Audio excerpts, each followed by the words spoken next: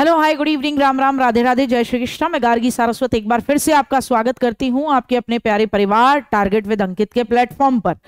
अभी कुछ दिनों से एक नोटिस कह लीजिए डिपार्टमेंट टू डिपार्टमेंट का नोटिस होता है, वो वायरल हो रहा है।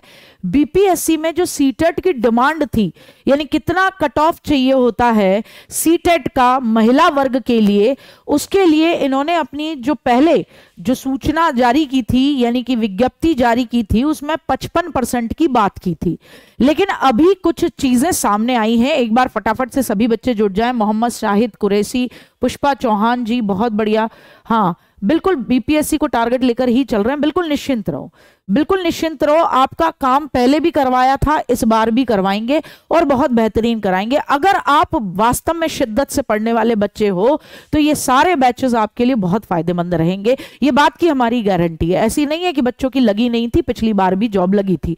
अब यहाँ गौर फरमाना है कि महिला योग्यता सीटेट में फिफ्टी परसेंट की मानी जाएगी या सिक्सटी परसेंट से कम की मानी जाएगी, या सिक्सटी परसेंट ही होना चाहिए और सिक्सटी परसेंट से कम को अमान्य माना जाएगा।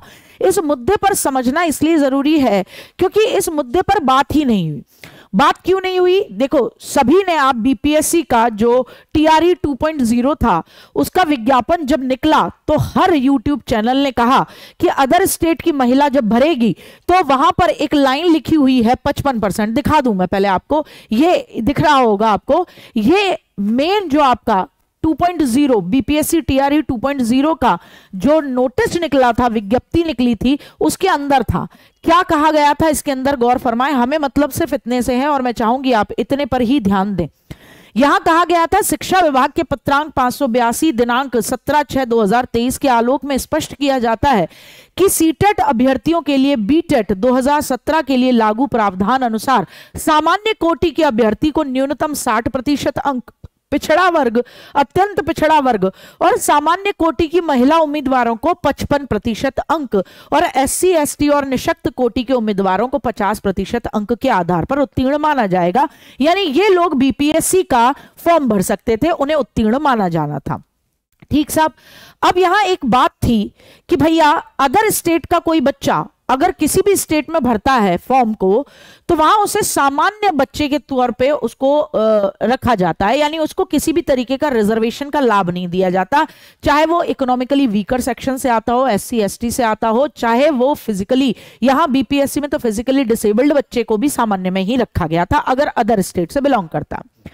अब बात यह थी कि यहाँ एक लाइन लिखी हुई थी कि अत्यंत पिछड़ा वर्ग पिछड़ा वर्ग और सामान्य कोटि की महिला उम्मीदवारों को 55 प्रतिशत अंक। तो इस बात का ये बात निकल कर आती है कि भैया, जब यूपी का कोई बच्चा या कोई छत्तीसगढ़ का बच्चा या राजस्थान की गुड़िया गुड़िया, बिटिया बिटिया अगर बीपीएससी का फॉर्म भरती है, शिक्षक भर्ती के लिए तो वह सामान्य वर्ग में काउंट होगी ही होगी। और दूसरी सबसे बड़ी बात है कि उसका जेंडर नहीं बदल जाएगा किसी भी हालत में।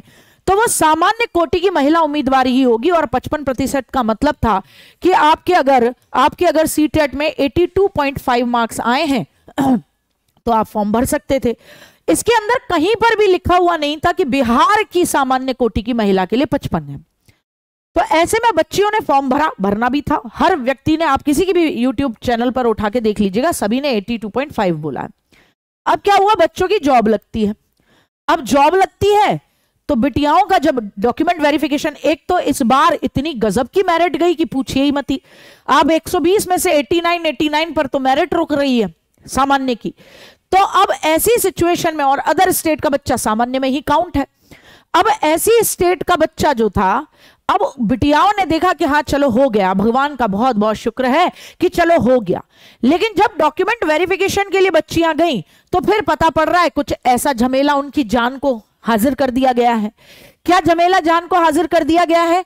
यहाँ देखिए, गोपालगंज के जिला शिक्षा पदाधिकारी ने क्या कहा है? सेवा में निदेशक माध्यमिक विद्यालय बिहार, पटना। ये कहा है कि सीटेट परीक्षा में 60 प्रतिशत से अंक वाले अन्य राज्य की महिला अभ्यर्थियों के संबंध में। ये पहले क्यों नहीं बोला था आपने? ये पहले क्यों नहीं बोला था आपने? अगर आपको ही ये लाइव कम से कम ऐसी दस बच्चियाँ हैं जो आपके इसी परिवार से पढ़ी और पढ़ने के बाद वो बच्चियाँ मेरिट में सिलेक्शन लिया। एक तो मेरिट में सिलेक्शन लेना बड़ा गड़बड़ था। इस बार इतनी ज़्यादा हाई मतलब मेरिट गई थी और कम उम्र का बच्चा है तो मैंने आपको बताया था कि एज का भी मामला रखा था। उसके बाद जब डॉक्यूमेंट वेरिफिकेशन पे बच्चियाँ जाती हैं तो उनको कह दिया जाता है कि आपका बाद में होगा। ये पर्सनल है। मतलब बिल्कुल रिकॉर्ड में है। बच्ची ने कहा, ठीक है, बाद में सबका हो गया। तो कहा, जी, देखो, आपका नहीं हो सकता, आपके साठ अंक नहीं है। उस लड़की ने कहा, आपका खुद का विज्ञप्ति आपकी खुद की सूचना है, इसको गौर फरमाइए, ये क्या कह रहे हैं आप? फिर उसके बाद में बच्चियाँ गई, कहा? हेडक्वार्टर गई हेड ऑफ़िस गई, वहाँ जाके बात की, कहा, तीन दिन बाद आइएगा। बच्चे जो अदर स्टेट से बिलोंग करते थे डॉक्यूमेंट वेरिफिकेशन के लिए गए, वहीं रुक गए। वहीं रुक गए, तीन दिन बाद कह दिया गया, नहीं। अब कुछ बच्चों ने केस डाला हुआ है, कुछ बच्चों ने केस डाला हुआ है, इसी चीज़ को लेते हुए कि आपने अपने विज्ञापन में स्पष्ट तौर पर क्यों नहीं रखा? विज्ञापन में आप लिखते हैं, सामान्य कोटि की महिला उम्मीदवार। और कोई भी बच्चा जो अदर स्टेट से आता है, वो सामान्य कोटि में आता है। अब महिला उम्मीदवार तो क्या किसी का जेंडर भी बदल जाता है? क्या स्टेट से बदलते ही? जेंडर तो नहीं बदलेगा। तो बच्चा भैया, यही तो मानेगा, सामान्य कोटि का 55 परसेंट पे मैं अलाउ हूँ। एक बच्ची के 89 मार्क्स है 90 नहीं है, लड़की का सिलेक्शन रोका हुआ है, उसको जॉब नहीं दे रहे तो यहाँ इन्होंने लिखा है कि भैया, इनके 60 प्रतिशत से कम अंक होने के कारण काउंसलिंग कराए जाने के बाद तदर्थ नियुक्ति पत्र इनका स्थगित रखा गया है और यह सूची इनकी निम्नवत है। इससे एक चीज़ क्लियर होती है इससे एक चीज़ क्लियर होती है कि इन्होंने क्या करा? काउंसलिंग करा दी गई है, लेकिन नियुक्ति पत्र स्थगित रखा है और पूछ रहे हैं कि बताइए क्या करना है, इसका क्या नहीं करना है? जिला पदाधिकारी ने लिखा है। मामला ये है। तो कुल मिलाकर एक चीज़ तो स्पष्ट कर लो, इसका जो भी रिज़ल्ट निकलेगा, उसी से पता लगेगा कि आप 60 पे ले रहे हो अदर स्टेट की महिला कैंडिडेट को भी। या आप 82.5 को मान रहे हो। अच्छा जी इन्होंने तो कम से कम एंटरटेन किया है बाकियों ने तो एंटरटेन भी नहीं किया बच्चियों को। ऐसी का, काफ़ी बच्चे हैं जिन्होंने फिर खार करके बिहार के अंदर पटना हाईकोर्ट में इस बात के लिए क्या करिए गुहार लगाइए कि देखिए यहाँ कहीं लिखा हुआ नहीं था। तो पहली चीज़ स्पष्ट कर लीजिए कि एक तो नब्बे नंबर अपने पक्के कर लीजिए तभी आपकी एंट्री रहेगी अगर आप अदर स्टेट से बिलोंग करते हैं। आलोक कह रहे हैं मैम क्या इस बार डोमिसाइल लगेगा? अभी तक ऐसी कोई सूचना नहीं है कि डोमिसाइल लगेगा। और जब तक कोई आपकी सूचना ऑफिशियल वेबसाइट पे ना आ जाया करे, तब तक किसी भी तरीके की जितनी भी बातें, क्योंकि होता क्या है, आजकल है मल्टीमीडिया जमाना। एक बात चलती है, ऐसे फैलती है, हवा की तरह। उसमें कुछ सच भी होता है, कुछ झूठ भी होता है, कुछ फिर व्यक्ति अपना परसेप्शन भी देता फिरता है। तो क्या करना है, क्या करना है, विशेष तौर पर आपको ध्यान रखना है, ध्यान क्या रखना है? ध्यान एक ही चीज़ के रखनी है, और वो ध्यान एक ही चीज़ का क्या है कि भाई एक तो पहली चीज़, ये देख लेना है कि इसका क्या रिज़ल्ट निकलता है। क्या 82.5 पे मानते हैं या 90 मानते हैं? तो जो भी होगा वो मैं आपको बताऊँगी, ठीक है? जैसा भी रहेगा जो भी मामला आपका रहेगा। लेकिन ये जो है, ये साफ़ अगर आप अपनी विज्ञप्ति में इन बच्चों का आप रोक रहे हो, ठीक है, इतनी मुश्किल से तो बच्चा पहुँच रहा है, फिर आप इसमें किस बिहाफ पे रोक रहे हो? जबकि आप ये देखो ना, आपने खुद क्या लिखा है? सामान्य कोटि की महिला उम्मीदवार को 55 प्रतिशत अंक। भैया, अदर स्टेट की बिटिया भी वहाँ पर सामान्य कोटि में कंपीट कर रही है, वहाँ पर सामान्य कोटि में पहुँच रही है तो क्या जेंडर बदल जाएगा? महिला नहीं रहेगी वो? क्या हो जाएगी? पुरुष हो जाएगी। तो जब आप लिखते हो, या तो आप ये विशेष तौर पर लिखो कि बिहार विशेष ये ये उक्त प्रावधान केवल बिहार विशेष के लिए है। आप उक्त प्रावधान बिहार विशेष के लिए लिखते नहीं हो तो बच्चा तो इसमें 82.5 पे ही जाएगी बिटिया। फिर आप उसको रोक देते हो तो ये तो मेरे हिसाब से सर्वथा अनुचित है। क्या है? सर्वथा अनुचित है। अब जो कल रात में वीडियो लेकर आई थी, उसे आप देख लीजिएगा। आप अभी भी यही जानना चाह रहे हैं कि क्या मार्च में होगा। आपको ये देखना है कि क्या आचार संहिता से पहले इतना जल्दी पेपर कराया जा सकता है कि फॉर्म भी भर जाएँगे और पेपर भी हो जाएगा। लेकिन फिर भी मैंने आपको कहा था कि एक परसेंट मान लीजिए अगर ऐसा होता भी है तो एक तारीख से आपका, आपकी तैयारी शुरू हो रही है और मैं आपको गारंटी देती हूँ कि आप अपनी तैयारी करिए। मैं आपका पच्चीस दिन में पॉलिटी वाला सेक्शन पूरा करा दूँगी, वो सिक्स टू एट्थ का, नाइन टेंथ का और वन टू फिफ्थ का पूरा रहेगा। अन्य टीचर भी आपका पूरा जान लगा देंगे और क्या होगा।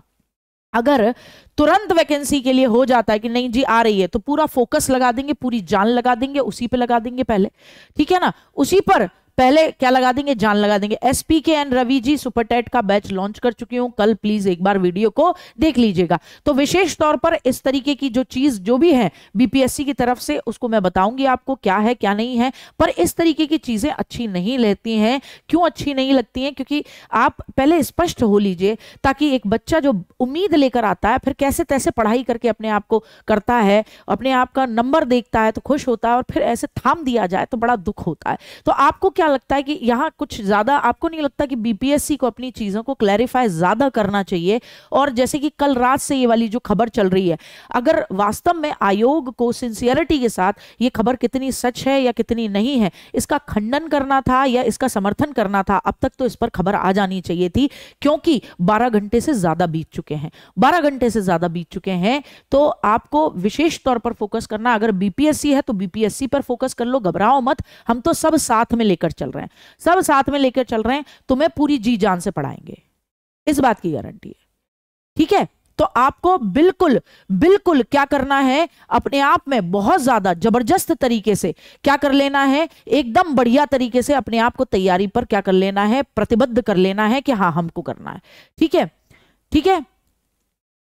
क्लियर हुआ?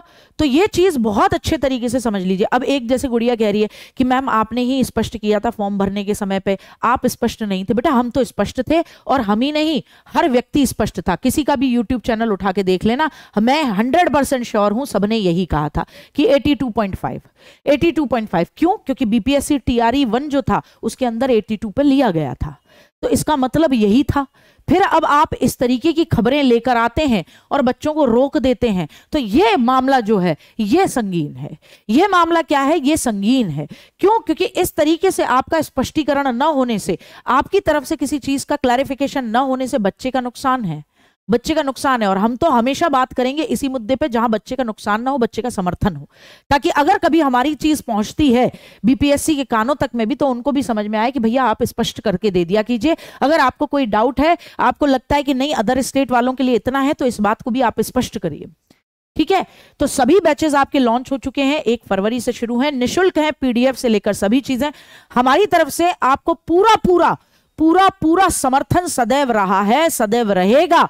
और सबसे बड़ी बात है हाँ बिल्कुल मैं जानती हूँ महिमा टीआरई 1.0 में 82 पर लिया था। अब 82 पर क्यों नहीं ले रहे हो? अब बात यह है कि टीआरई 2.0 में क्यों इतना कंफ्यूजन है बीपीएससी के माध्यम से कि जब डॉक्यूमेंट वेरिफिकेशन के लिए बच्चा जा रहा है तो उसको इस तरीके से फंसाया जा रहा है। क्या रीजन है? क्या कारण है इस बात को लेकर? क्यों स्पष्टीकरण नहीं है? ये चीज़ समझ से बाहर है। तो जो भी कुछ होगा, वो डेफिनेटली बीपीएससी क्लियर करेगा, ही करेगा।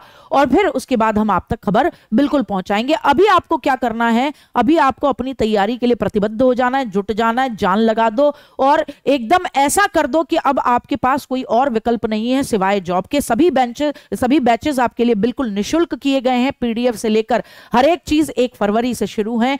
पूरा ध्यान लगा दीजिए दमदार तरीके से। ठीक है? तो बहुत बहुत धन्यवाद। जय हिंद, जय भारत। ध्यान दें अपना।